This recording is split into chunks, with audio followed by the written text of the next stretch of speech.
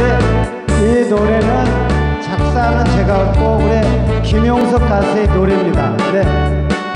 한번 노래 하면잘 들어봐 주세요.